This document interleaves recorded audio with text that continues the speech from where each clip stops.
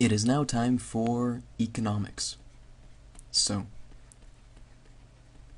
economics, we're going to start with 2.3, which is theory of the firm.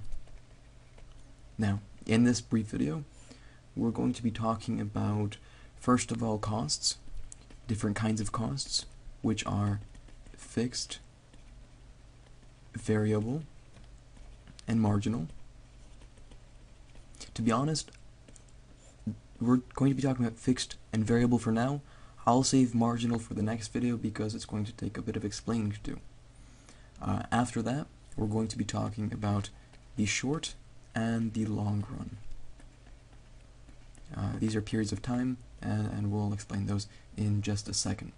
So, getting back here, costs. Our first type of cost, our first cost is a fixed cost. Fixed cost. Now, uh, let's begin with the definition of a fixed cost. These are costs that are, so fixed costs are costs that are not, it's important to remember, not linked to the quantity quantity of uh, of output, right? So of output produced. Fixed costs are costs that are not linked to the quantity of output produced. First, uh, you know, there's two things we have to look at here. Quantity. Now, what quantity is, this is the number or the amount of things you're producing. Uh, let's say, you know, if you're making 10, you know, books, your quantity of books is 10. And there's also the quality, but we're not talking about the quality of things we're producing here because we're, you know, we're just focusing on things that we're able, you know, willing and able to produce and later sell. And then of output produced, well, output is going to be your total, uh, you know, your total sum of goods and services. So what you're looking at here, cost, this is a kind of cost that no matter how much, you know, or rather how many goods and services you're making or producing, the cost is going to stay the same. And a, a good example of this is a building. Right? Let's say you know you you have a building, right? And in this building, it doesn't matter whether or not you're, you know, you're hiring one person or you're hiring 100,000 people. You've got to pay for the lighting, you've got to pay for the plumbing and the air conditioning and the cleaning and all the things that are associated with running a building and maintaining it. It doesn't matter, you know, whether or not you have one person or 100,000 people or any number in between. It's going to, you know, cost the same amount of money. Now the the other kind of cost, a variable cost.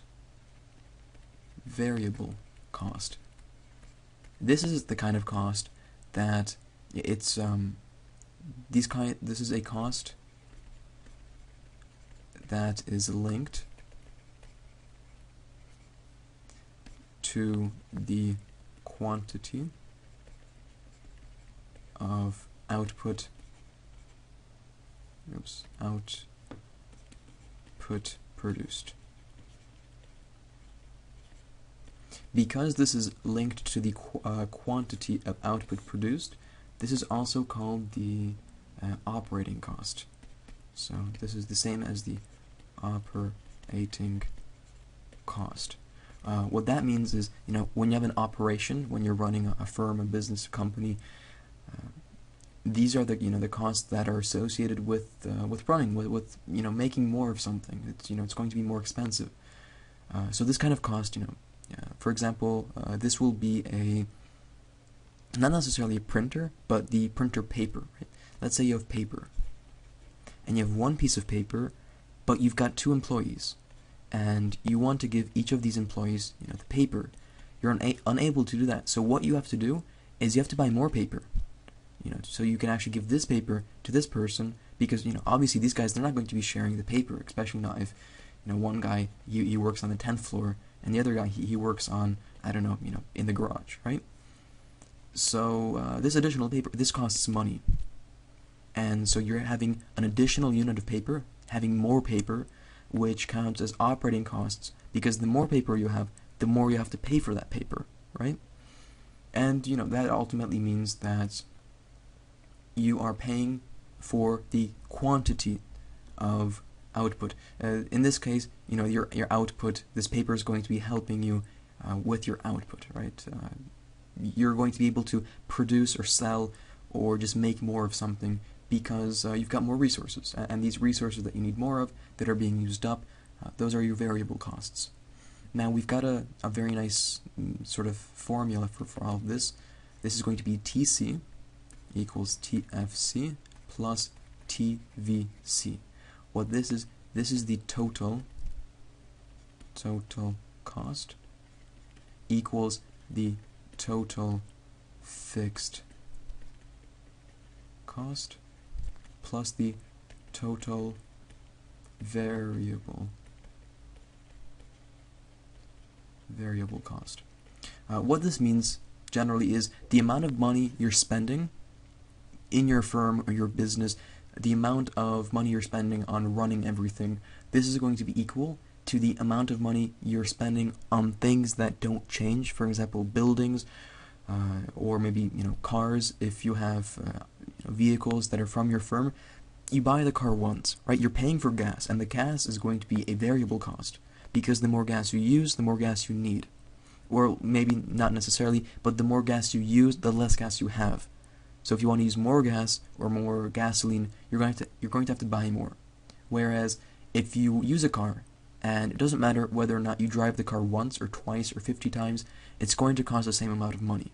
Obviously, you have to go in for repairs, but those are small things that are then you know put under the, the variable cost, not under the fixed cost.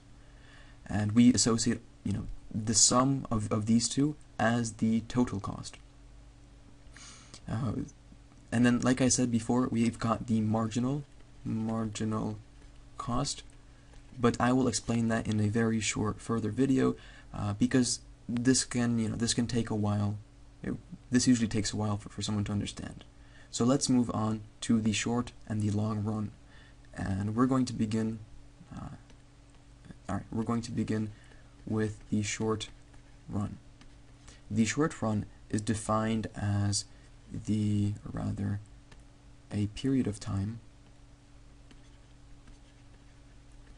period of time, oops, getting a bit ahead of myself, a period of time during which one or more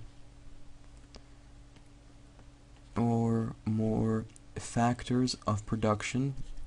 Um, I know some of you may have forgotten what a factor of production is. We have four of them, and I'll explain factors of production when I explain marginal uh, and marginal costs. So, a period of time during which one or more factors of production are fixed. What this means is that in the short run, basically, you've got an element of your, your you know your business or your firm where you're not paying more for an increase in production. So you're not paying more for your building, you're not paying more for your cars, you're not paying. Um, it's very hard to define whether labor, you know, whether people are fixed or or um, or variable. Uh, I'll try and explain that later because oh, that's just you know a fun topic in itself. Uh, but the short run, this is one. This is a period of time during which one or more factors of production are fixed. Right now, the other is the long run. So the long run is when all factors of production are variable. Variable, not fixed. These are all variable. And when we're looking at this, this means that the long run, this is uh, I guess like a, an amount of time or a time period during which you know this is so much time that nothing you buy or sell nothing you have uh, is considered to be fixed. So you have a building, and that building isn't considered to just be a fixed cost because either you have so many employees that you're constantly, uh, you know, buying new buildings or just upgrading buildings. You know, maybe moving into a larger building. Um, you know, or you're you're upgrading the building, you're renovating it, things like that, right? So this is a, a period of time or a span of time, say 10 years, maybe 20, 30, 50 years, over which all of your factors of production are variable.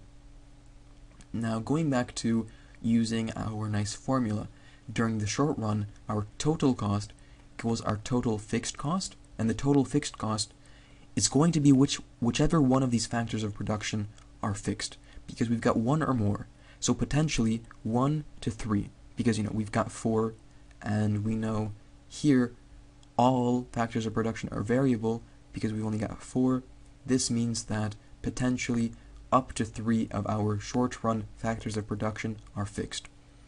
And whichever factor of production is not fixed is going to be our total variable cost. So this stays the same. Whereas, if we look at the long run, all four of the four uh, factors of production are variable. This means that our total cost equals our total variable cost because in this case we've only got one kind of cost. Uh, that's it for this video. We spoke about costs, two kinds, and we spoke of the long and the short run.